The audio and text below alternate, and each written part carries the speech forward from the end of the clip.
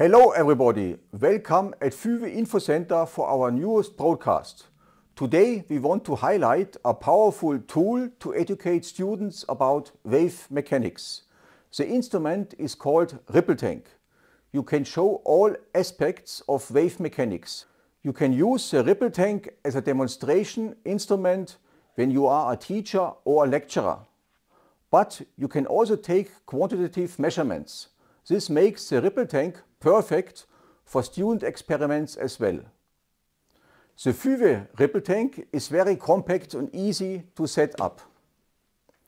Just fill water into the tray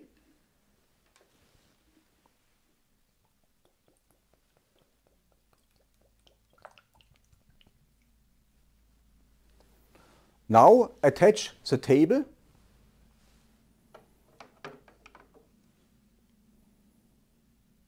and switch on the LED and the exciter. The green LED creates a very good contrast and leads to brilliant pictures. All parameters like frequency, phase shift and stroboscope function can be easily adjusted via the touchpad and controlled over the LED display. If you want to show the wave pattern to a larger audience, you can display them using the optional mirror.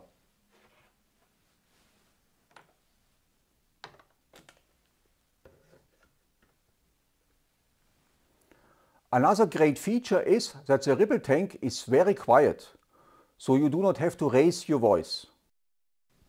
Now let us have a look at the accessories which are part of the Ripple tank. With these accessories, you can show the typical wave phenomena. There are various dippers to generate plane waves or 1 to 10 single simultaneous waves. Now I will show you how to remove, replace and attach the different dippers to the excitation system.